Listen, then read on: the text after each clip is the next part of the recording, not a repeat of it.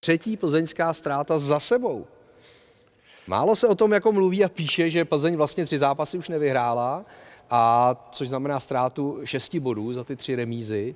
Dochází Plzni dech nebo, nebo ne, nebo se ještě nadechne? Tak, tak ona, ona i těch zápasy předtím vždycky vyhrála o gol se štěstím a teď už to na ně doléhá asi a, a ty týmy si na ně věří, takže, takže je to šance pro, pro Spartu, pro Slávy a Plzeň to bude mít těžký.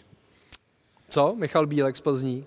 Titul má zůstat v, pra- v Praze prostě, no, je to tak. Proč? Já Proč? Souhlasím. Jako, já se omlouvám, ale eh, u nás ve Vyšehradu je postava taky trenerská, že jo, říkám to správně. A uh, Trenér Žloutek. ano, je to on.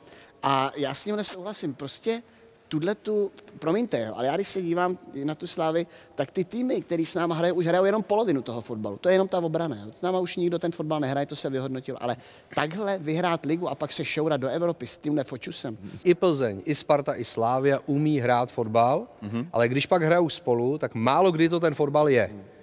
Je tam tisíc faulů za ten zápas, málo střel.